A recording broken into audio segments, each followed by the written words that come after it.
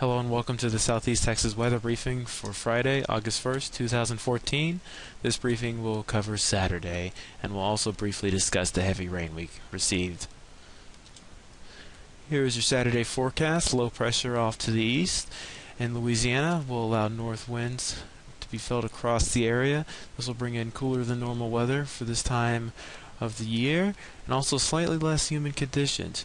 You will be able to feel a slight difference outside tomorrow.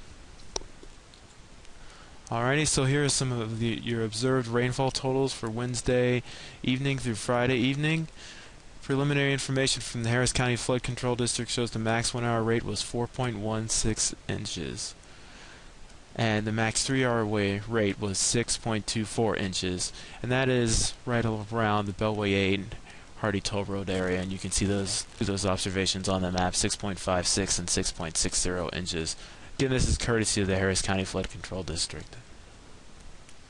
Here is the radar estimated rainfall totals for the rainfall event for Wednesday evening through Friday evening. So everywhere where you see yellow on the map, that is 6 inches or greater.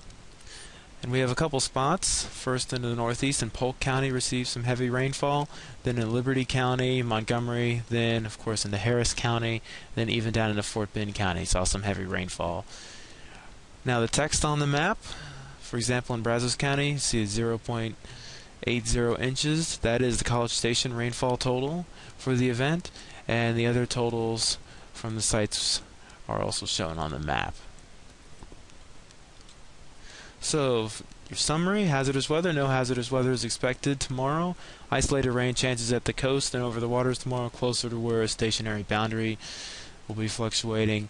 Do think the boundary will remain offshore tomorrow, though. Temperatures upper 80s in our northern areas, with the climate for this time of year, College Station 96 degrees, so much cooler than normal. And then 90 towards the, our southern areas, such as towards Galveston, Jackson counties. Tropics, Tropical Storm Bertha will pose no threat to southeast Texas. This has been the Daily Weather Briefing, brought to you by the Houston Galveston National Weather Service. Thanks for listening.